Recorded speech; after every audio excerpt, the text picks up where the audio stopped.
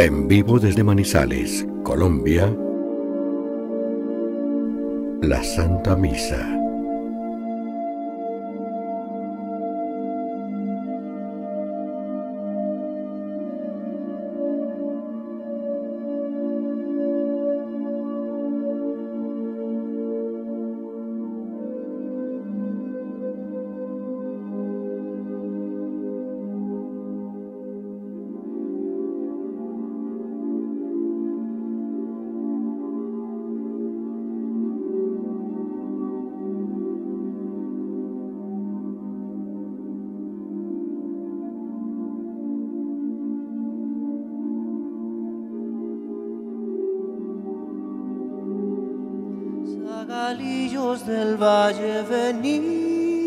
Pastorcillos del monte llegar, pa' esperanza de un Dios prometido, ya vendrá, ya vendrá, ya vendrá.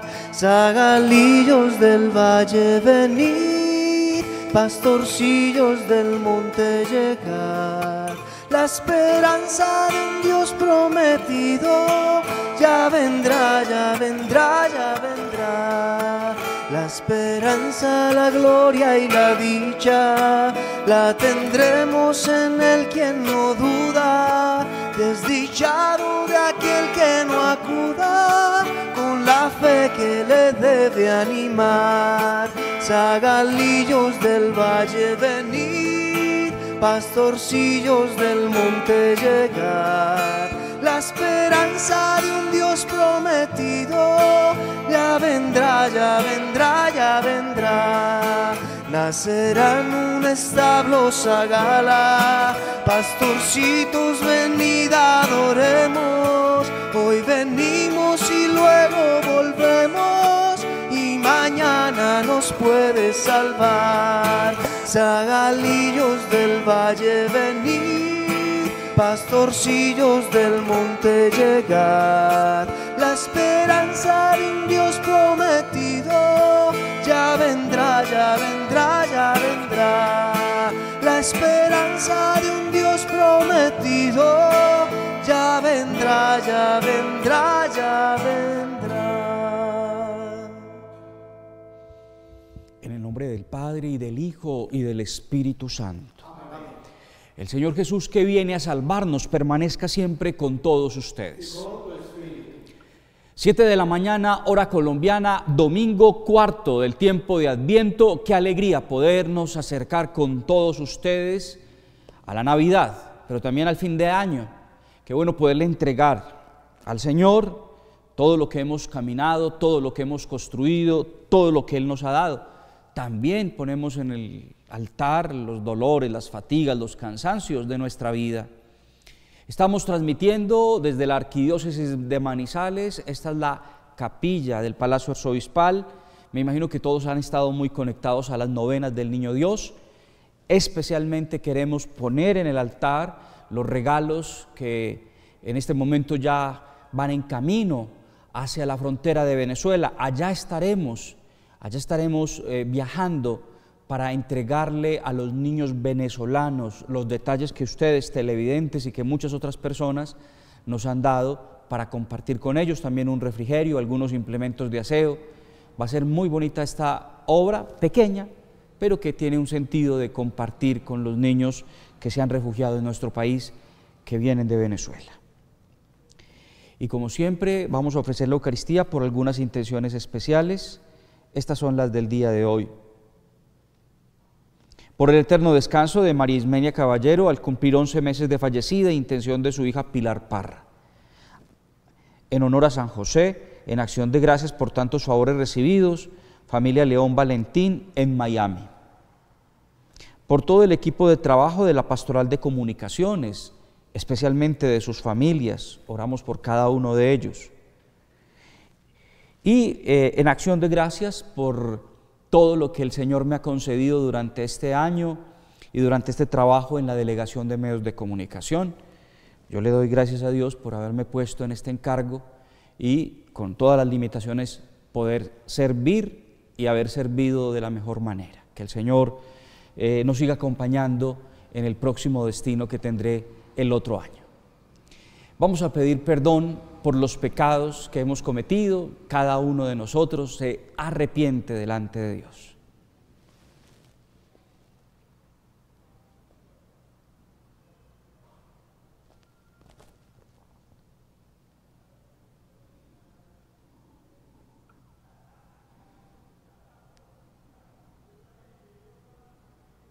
Yo confieso ante Dios Todopoderoso y ante ustedes, hermanos, que he pecado mucho de pensamiento, palabra, obra y omisión, por mi culpa, por mi culpa, por mi gran culpa. Por eso ruego a Santa María, siempre Virgen, a los ángeles y a los santos, y a ustedes, hermanos, que intercedan por mí ante Dios nuestro Señor. Dios Todopoderoso tenga misericordia de nosotros, perdone nuestros pecados y nos lleve a la vida eterna. Amén. Señor, Señor, ten piedad de mí. Señor, Señor, ten piedad de mí. Señor, Señor, ten piedad de mí. Ten piedad, ten piedad, ten piedad de mí. Oh Cristo mío, ten piedad de mí. Oh Cristo mío, ten piedad de mí.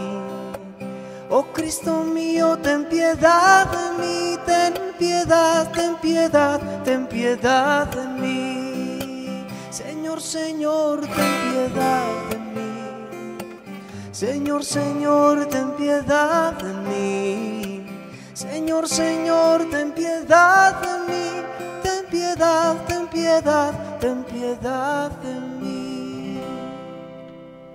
Oremos. Derrama, Señor, tu gracia en nuestros corazones, para que quienes hemos conocido por el anuncio del ángel la encarnación de tu Hijo, lleguemos por su pasión y su cruz a la gloria de la resurrección. Por nuestro Señor Jesucristo, tu Hijo, que contigo vive y reina en la unidad del Espíritu Santo y es Dios por los siglos de los siglos. Amén.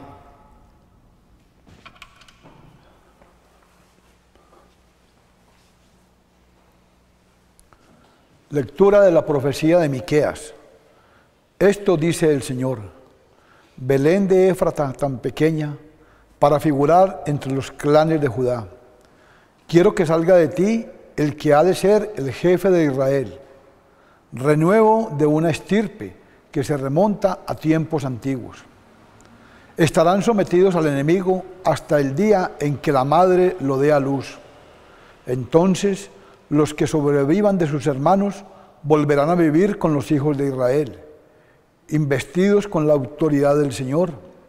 Él los apacentará en el nombre glorioso del Señor su Dios, y extendiendo su poder hasta los confines del orbe, les dará una tierra donde establecerse. Con Él vendrá la paz. Palabra de Dios. Muéstranos, Señor, tu rostro y nos salvaremos. Muéstranos, Señor, tu rostro y nos salvaremos. Pastor de Israel, escucha. Tú que te sientas sobre querubines resplandece, despierta tu poder y ven a salvarnos. Muéstranos, Señor, tu rostro y nos salvaremos. Dios de los ejércitos, vuélvete, mira desde el cielo, fíjate, ven a visitar tu viña, la cepa que tu diestra plantó y que tú hiciste vigorosa. Muéstranos, Señor, tu, tu rostro y nos salvaremos. Que tu mano proteja a tu escogido, al hombre que tú fortaleciste. No nos alejaremos de ti. Danos vida para que invoquemos tu nombre. Muéstranos, Señor, tu rostro y nos salvaremos. Lectura de la carta a los hebreos.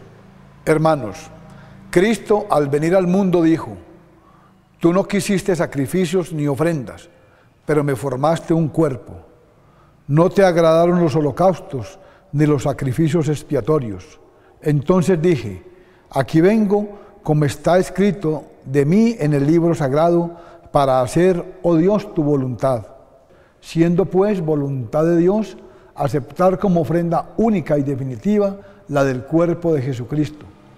También nosotros quedamos por esta oblación santificados. Palabra de Dios. Te alabamos, Señor. Yo soy la esclava del Señor, que se cumplan en mí tus palabras. Aleluya.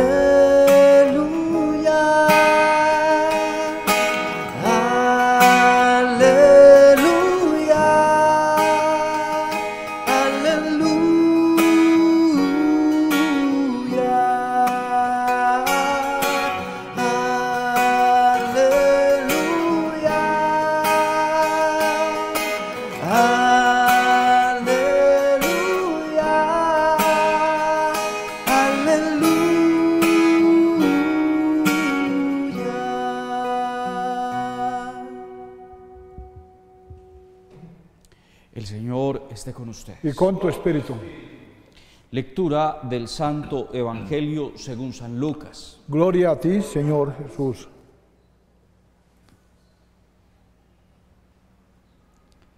Después de recibir el anuncio del ángel, María se puso en camino y se fue sin demora a un pueblo de las montañas de Judá. Al entrar en la casa de Zacarías saludó a Isabel. Y apenas oyó Isabel el saludo de María, se estremeció la criatura que llevaba Isabel en el vientre. Y ella se llenó de Espíritu Santo y exclamó en voz alta, Bendita eres entre las mujeres y bendito el fruto de tu vientre. ¿Cómo es posible que la madre de mi Señor venga a visitarme? Mira, apenas llegaron a mis oídos tus palabras de saludo, la criatura que llevo en el vientre se estremeció de alegría. Dichosa eres tú que creíste que se cumpliría lo que el Señor te anunció. Palabra del Señor. Gloria a ti, Señor Jesús. Todos los judíos de la época de Jesús, todos los judíos practicantes, eh, estaban en la espera mesiánica, estaban en la espera del Mesías. Pues tenemos que decir que no. Si hubiera sido así, eh, los sacerdotes, los levitas, los ancianos, los escribas, se hubieran no se hubieran resistido, se hubieran derretido, digamos así, el corazón ante la llegada de Jesús. Todo el pueblo judío inmediatamente no estuviera hoy esperando el Mesías, sino que hubiera aceptado que Jesús es el Señor, que Jesús es el Salvador. Por lo tanto, habían unos pocos que sí estaban en la espera mesiánica. La teología bíblica lo llama el pequeño resto de Israel.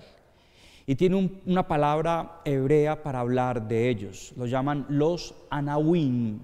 Los anahuín son esas personas sencillas, a veces pobres, excluidas. Los pobres de Yahvé también lo llaman. Los pobres de Yahvé, el pequeño resto de Israel, que era un grupo, un grupito de judíos que seguían la escritura, que seguían la Torá y que confiaban en que lo que habían dicho los profetas, Sofonías, Miqueas, Isaías, era verdad. Y confiaron, y confiaron en esa promesa.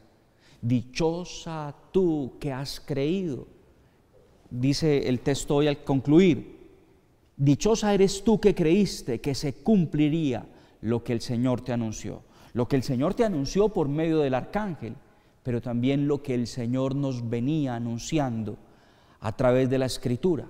De ese grupo de Anahuín, por supuesto que hace parte la Virgen María, San José, San Juan Bautista, Zacarías, Isabel y todas esas personas que a través de la predicación de Juan Bautista corrieron a convertirse, a dejar su vida pasada y en la espera del Mesías. Esa es una pregunta que nos tenemos que hacer hoy. ¿Somos los cristianos católicos personas que estamos esperando al Mesías por segunda vez?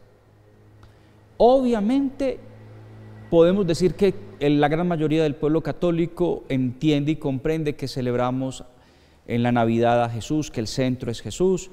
Todos, en todos los lugares, pues ya hay pesebritos, en los centros comerciales, la novena del Niño Dios se reza.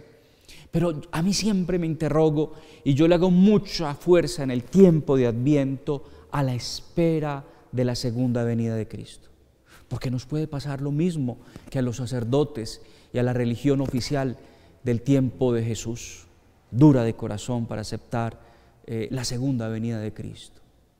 No podemos nosotros vivir en un fanatismo mesiánico, eh, eh, creando búnkers para el Armagedón y llevando comida en un subterráneo o con ese fanatismo religioso que no tiene ninguna coordenada válida de preparar fósforos o lámparas o, uvas, mm, como yo se los decía esta semana. Pero hoy quiero que tengamos como un foco y es la importancia de ser pequeño. Nosotros, a ustedes y a mí, nos han creado para ser exitosos, para impactar. Ustedes saben muy bien que la dinámica hoy en día de la sociedad y del mundo, y mucho más de lo mediático, es de alguna manera sobresalir, resaltar. ¿Qué tienes tú para impactar a los demás? Y si es necesario hacer algo grotesco, vulgar, pornográfico con tal de acumular seguidores, like, se cae en el relativismo, se cae muchas veces en, en la grosería, en lo vulgar, en lo vulgar. ¿Cuál es el camino que nos pide Jesús? El camino de disminuir para que Él crezca. Eso nos lo dijo San Juan Bautista. El camino es saber que nosotros nos santificamos en lo ordinario, en las cosas pequeñas. Uno, humanamente, de alguna manera, quisiera fama, quisiera éxito, quisiera aplausos, quisiera reconocimiento. Pero bíblicamente y cristianamente la espiritualidad del Evangelio es la espiritualidad del ocultamiento para que quien brille sea Cristo. Para que quien sea el primero sea Él. En el mundo muchas veces los hombres y las mujeres buscamos el oropel del mundo y nos quedamos con el oropel y sin Dios. Sin Dios. Hoy Qué bueno que ustedes y yo recordemos de que Dios tiene un enamoramiento especial por los pequeños. Belén de Efradá, tú que eres la más pequeña, primera lectura del día de hoy. Está hermosa esa lectura. Belén Éfrata, tan pequeña para figurar entre los clanes de Judá. ¿Recuerdan cuando había la división de las tribus de Israel que se dividieron en doce? Y que después hubo, digamos, una división y diez quedaron al norte y dos al sur y que al sur quedó la más pequeña, Belén. Él le gusta eh, lo pequeño. Por eso escogió a su mamá tan simple, tan sencilla, una adolescente. Era muy joven María. Imagínense que cuando Lucas va a hablar de ella tiene que dar las coordenadas, pero minuciosas, para mostrar que era totalmente anónima. No era una mujer importante, era una mujer sencilla, pequeña. La Navidad que vamos a celebrar es tiempo para recordar eso, es que la puerta es estrecha. La puerta es estrecha y el camino es angosto.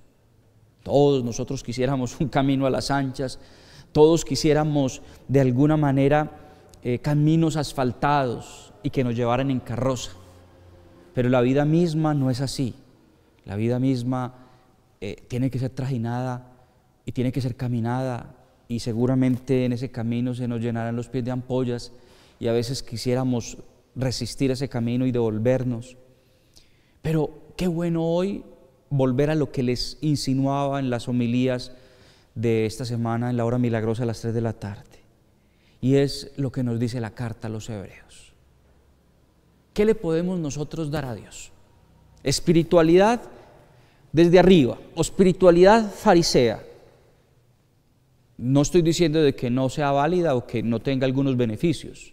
Pero Señor, entonces te voy a dar de lo que yo produzca, te voy a dar diezmo, Señor, te voy a dar ofrendas, te voy a dar mi buen comportamiento, te voy a dar esto, esto, esto. ¿Ustedes creen que lo que nosotros podamos darle a Dios lo enriquece a Él? Dios dice, ay, gracias, gracias por lo que tú me das, porque con tú me das estoy siendo más Dios.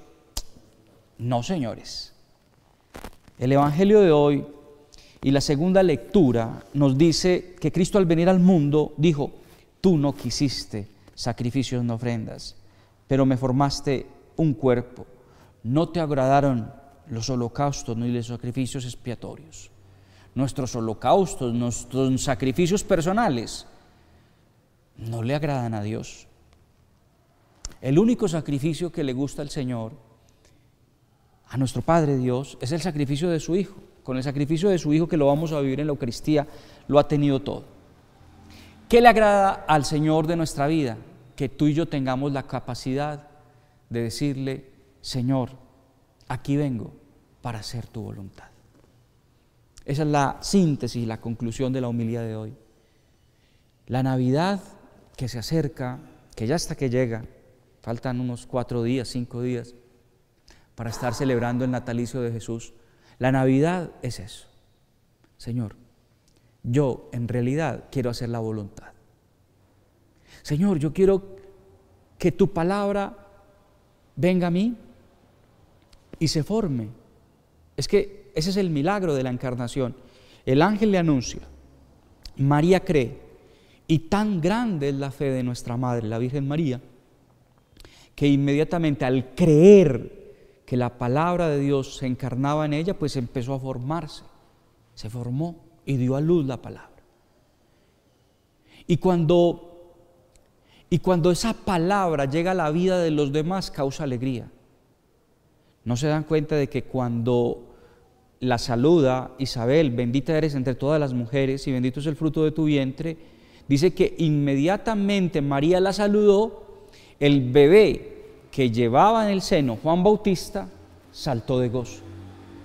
Al hacer nosotros la voluntad de Dios, lo que llevamos a los demás es la alegría de Dios. Causamos alegría, somos aroma en la vida del mundo. Cuando tenemos proyectos personales, cuando tenemos proyectos movidos solamente por nuestros deseos, nuestros caprichos, nuestra voluntad, podemos brillar, podemos de alguna manera eh, sobresalir. Pero eso es hacer la voluntad de Dios, muchas veces no. Por eso pidámosle al Señor sencillez, simplicidad. Yo sé que algunos de ustedes, ojalá muchos tengan la oportunidad de el silencio, de la reflexión. A veces hay mucho ajetreo en Navidad y del ajetreo de las carreras solamente queda el cansancio. Saquemos un momento para ir al Santísimo, saquemos un momento para ir con nuestra familia a los actos litúrgicos de guarda que tenemos nosotros como católicos, el compromiso. Ustedes saben que esta Eucaristía la celebramos virtualmente para atender a las necesidades del pueblo católico que por pandemia no puede ir a los templos o las personas que por enfermedad están en sus casas. Pero vayamos a los templos, vayamos a las iglesias miremos nuestros presebres y recordemos, Señor, como diría el Salmo, Señor, yo no quiero, yo no quiero cosas que desborden mi capacidad. Señor, yo no quiero estar abrumado por tan, grandes bendiciones que yo no, sepa cómo, que yo me enguarale con ellas, que yo no sepa cómo administrarlas. Señor, muchos pueden querer un, un gran camino para la santidad, pero uno por lo regular ve que los santos Santa Teresita llamaba a, su camino espiritual el camino de la infancia espiritual y lo llamaba el pequeño camino, la piccola vía, el pequeño camino. Que, Jesús, que se hizo hombre, se hizo niño, se hizo pequeño, nos enseña a nosotros la gran sabiduría que hay en quererse hacer pequeño. En muchas veces no buscar la humillación, porque eso sería una enfermedad patológica, pero recibir las humillaciones propias de la vida con paz. Querer que el Señor, que se cumpla lo que dice el Magnífica. El Señor a los engreídos los humilla y a los pequeños Él los enaltece. Que nosotros siempre busquemos lo pequeño y que si el Señor nos va a llevar a otro lugar, que si el Señor nos quiere poner en, otro lugar para servir, para amar. Y ese lugar de pronto es un lugar público, es un lugar que tenga algún prestigio, que sea el Señor y solo el Señor el que nos haya llevado a ese lugar. Que no sea lugares conseguidos a través del carrerismo, a través mm, del amiguismo que, es tan común en nuestras sociedades, nepotismo. Que nosotros no seamos mm, trepadores, en la vida cristiana, sino que toda promoción o que toda bendición venga exclusivamente de Dios. Que nosotros nos enamoremos como católicos de la gran importancia que tienen las cosas pequeñas, las cosas sencillas. Creo en Dios, Padre Todopoderoso, Creador del cielo y de la tierra. Creo en Jesucristo, su único Hijo, nuestro Señor, que fue concebido por obra y gracia del Espíritu Santo. Nació de Santa María Virgen, padeció bajo el poder de Poncio Pilato, fue crucificado, muerto y sepultado, descendió a los infiernos. Al tercer día resucitó de entre los muertos, subió a los cielos y está sentado a la derecha de Dios Padre Todopoderoso. Desde allí ha de venir a juzgar a vivos y muertos. Creo en el Espíritu Santo, la Santa Iglesia Católica, la comunión de los santos, el perdón de los pecados, la resurrección de la carne y la vida eterna. Amén. Presentamos nuestras peticiones al buen Padre del cielo, diciendo, escúchanos Señor. Escúchanos, Señor. Por la Iglesia Universal, el Papa Francisco, nuestro obispo José Miguel y todos los pastores de la Iglesia Católica, para que con palabras, pero sobre todo con testimonio, demos ejemplo de lo que es una vida sacrificada. Escúchanos, Señor.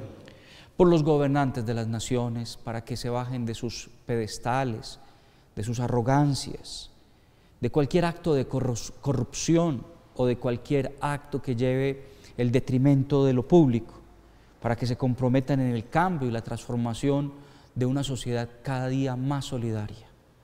Escúchanos, Señor.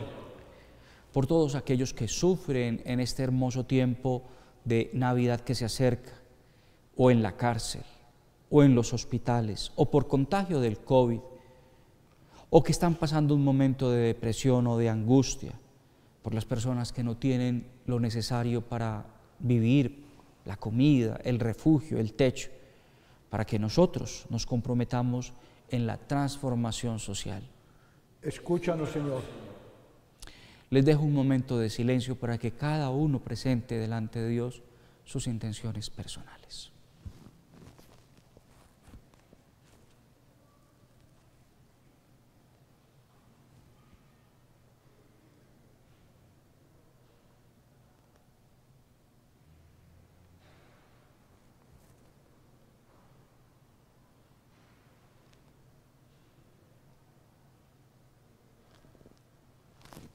Padre, escucha la petición que te presenta la iglesia, todo tu pueblo, por Jesucristo nuestro Señor. Amén.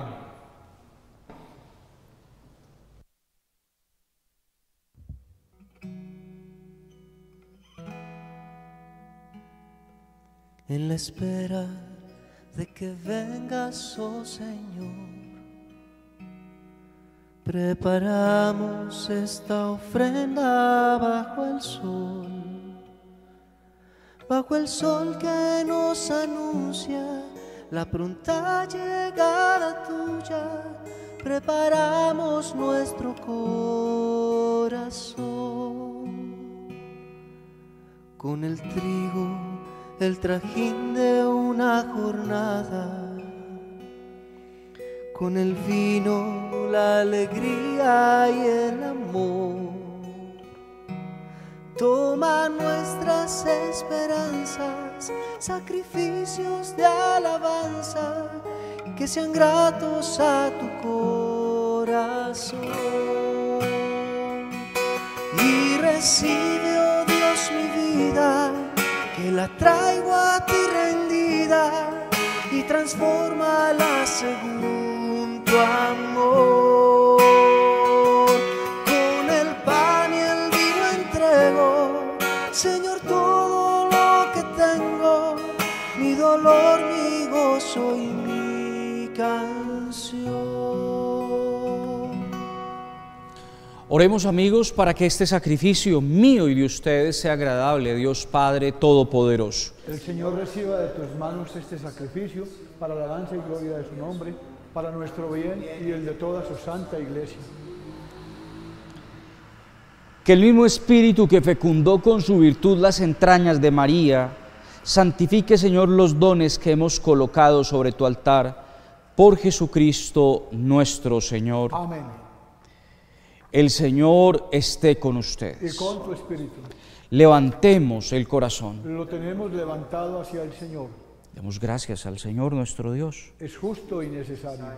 En verdad es justo darte gracias. Es nuestro deber cantar en tu honor himnos de bendición y de alabanza, Padre Todopoderoso, principio y fin de todo lo creado. Tú nos ocultaste el día y la hora en que Cristo, tu Hijo, Señor y juez de la historia, aparecerá revestido de poder y de gloria sobre las nubes del cielo. En aquel día terrible y glorioso pasará la figura de este mundo y nacerán los cielos nuevos y la tierra nueva.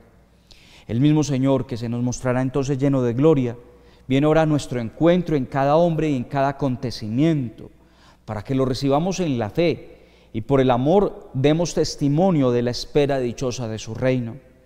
Por eso mientras aguardamos su última venida, unidos a los ángeles y a los santos, cantamos el himno de tu gloria. Santo, santo, santo es el Señor. Santo, santo, santo es el Señor. El cielo y la tierra llenan tu amor. El cielo y la tierra llenan tu amor. Osana en el cielo, Osana en la tierra. Bendito el que viene en nombre del Señor.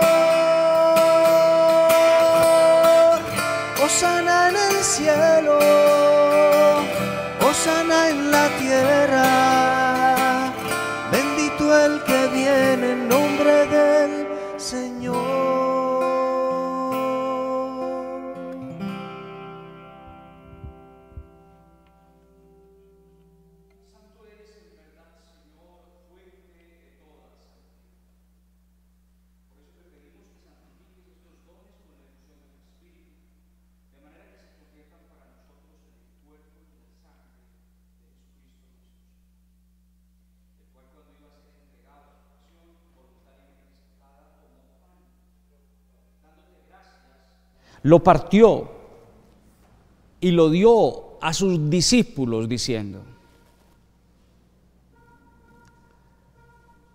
tomen y coman todos de él, porque esto es mi cuerpo que será entregado por ustedes.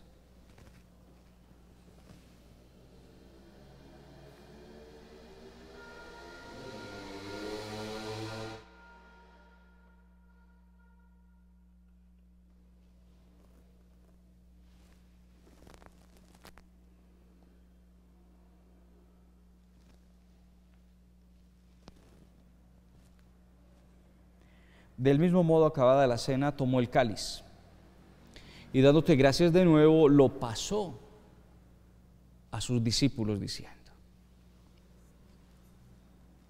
tomen y beban todos de él, porque este es el cáliz de mi sangre, sangre de la alianza nueva y eterna, que será derramada por ustedes y por muchos para el perdón de los pecados. Hagan esto en conmemoración mía.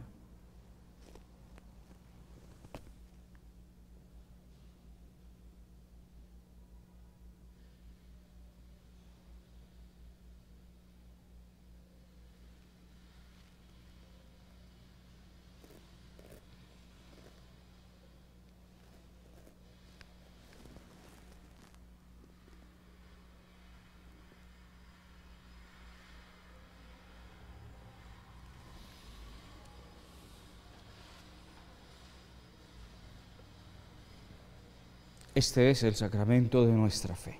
Anunciamos tu muerte, proclamamos tu resurrección. Ven, Señor Jesús.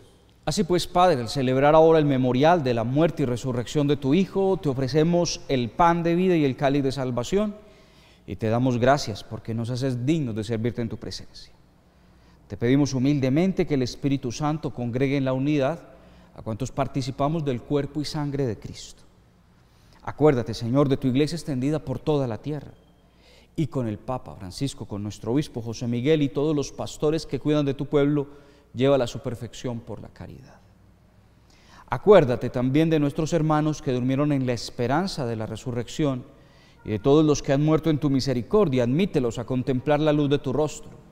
Ten misericordia de todos nosotros y así con María, la Virgen, Madre de Dios, los apóstoles, y cuantos vivieron en tu amistad a través de los tiempos, merezcamos por tu Hijo Jesucristo compartir la vida eterna y cantar tus alabanzas. Por Cristo, con Él y en Él. A ti Dios Padre Omnipotente, en la unidad del Espíritu Santo, todo honor y toda gloria por los siglos de los siglos. Amén.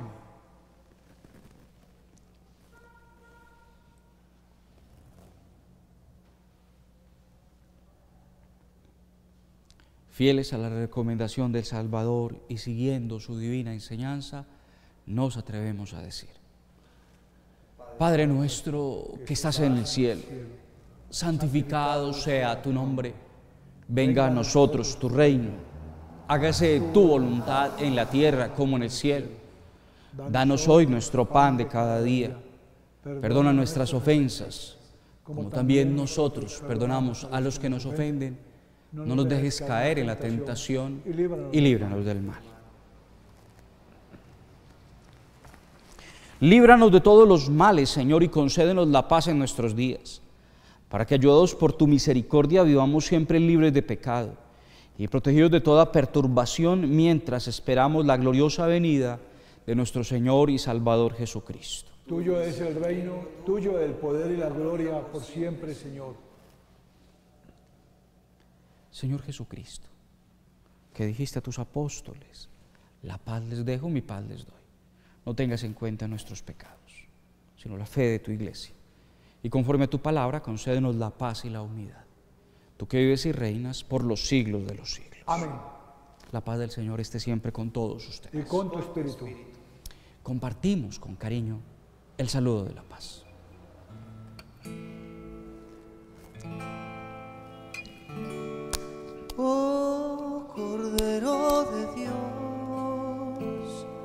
Que quitas el pecado del mundo, ten piedad de nosotros, ten piedad de nosotros.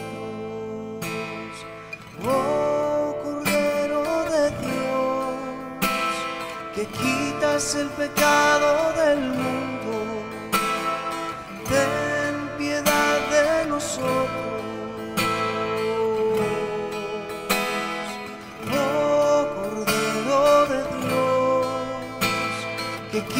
quitas el pecado del mundo, danos la paz, danos la paz.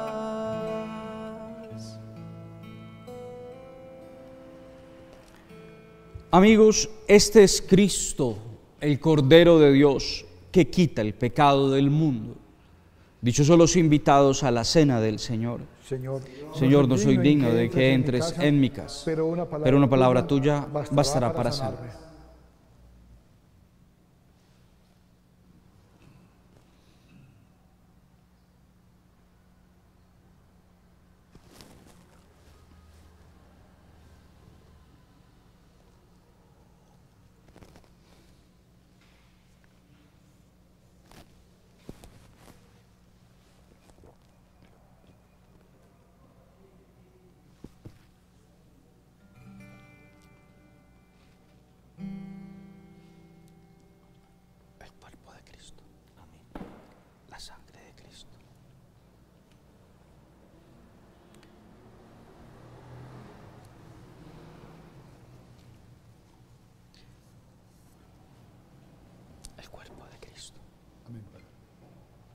La sangre de Cristo.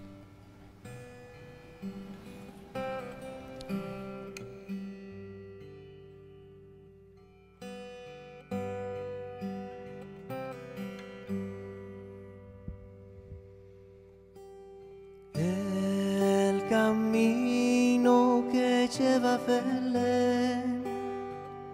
baja hasta el valle que la nieve. Los pastorcillos quieren ver a su rey, le traen regalos en su humilde zurrón, ropo pom pom,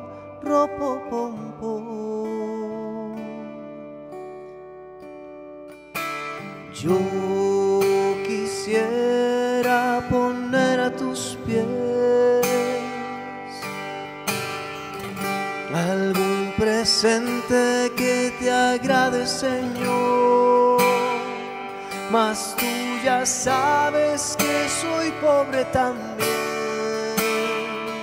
y no poseo más que un viejo tambor, ropo pom pom, ropo pom pom. En tu honor frente al portal tocaré con mi tambor.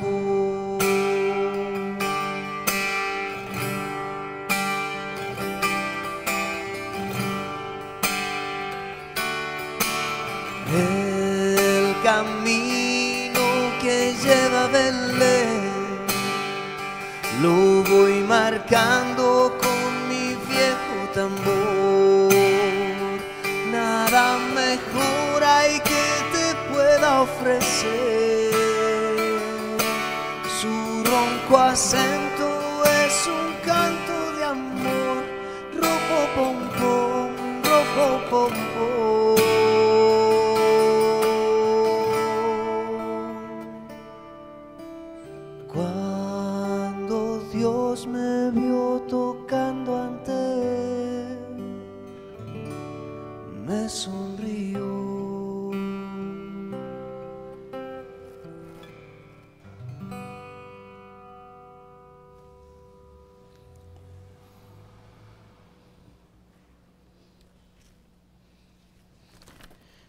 Oremos.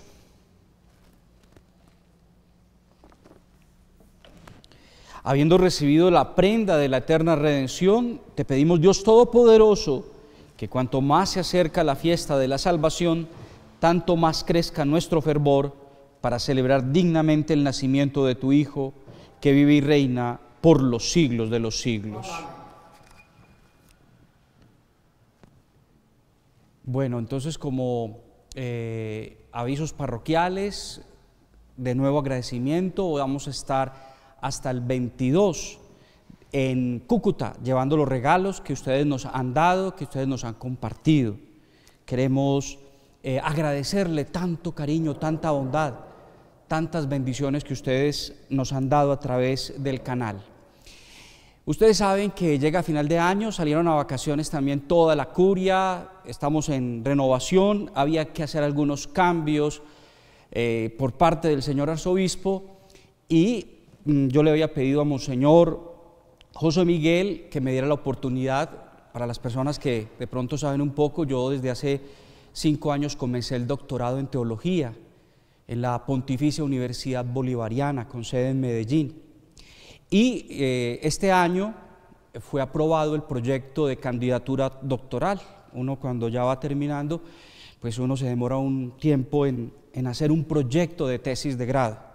Ese proyecto de tesis ya fue aprobado y mientras yo esté, digamos, de tiempo completo en un eh, trabajo pastoral como la delegación de medios iba a ser muy difícil escribir la tesis doctoral y por lo tanto Monseñor José Miguel me ha podido dar la licencia y me ha patrocinado para una beca en Madrid, en España.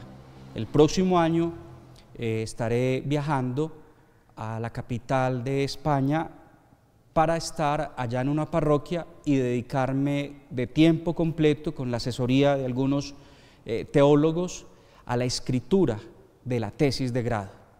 Por lo tanto, como ya lo pueden entender, no estaré en la delegación de medios, seguramente podré estar en el canal, de eso ya ustedes se darán cuenta muy pronto, pero estaré dedicado, digamos, a la reflexión y al estudio de la teología. Seré muy, para, para, para, quienes de pronto me conocen un poco, saben que el tema de investigación es un tema delicado, es una tesis de lo que llaman hoy de frontera, es un tema que exige sana doctrina, que exige mucho cuidado epistemológico y que tiene que no, no, con mi tesis seguramente yo no cambiaré ni el mundo ni la teología, pero un pequeño aporte en un pequeño tema teológico que me parece que es muy importante en estos momentos y en este momento también de la historia. A todos ustedes los llevo en el alma, los quiero mucho, no me gustan mucho las despedidas, hago esta, digamos, esta, este aviso, pues porque también me daba un poco de tristeza no contarles que ustedes no escucharan la noticia por mis labios. Ustedes saben que seguimos en contacto, las redes sociales, ustedes me pueden seguir a través de el Twitter o de, del Instagram o del Facebook, por ahí nos podemos encontrar. Vamos a ver qué va a ir mostrando el Señor en ese camino eh, y en este camino pues de vida consagrada, de vida sacerdotal. Le damos entonces la bienvenida al nuevo delegado de comunicaciones, quien viene a cubrir o a estar en esta delegación, también es conocido por algunos de ustedes, será el padre Jaime Alberto Pérez, a también a quien yo sé que ustedes le van a dar la acogida y sé que él va a hacer el mejor trabajo para seguir llevando la evangelización católica a través de los medios de comunicación en esta arquidiócesis. Oremos. Perdón, el Señor esté con ustedes la bendición de Dios Todopoderoso, Padre, Hijo y Espíritu Santo, descienda sobre ustedes y los acompañe siempre. Amén. En el nombre de Jesús pueden ir en paz. Damos gracias a Dios.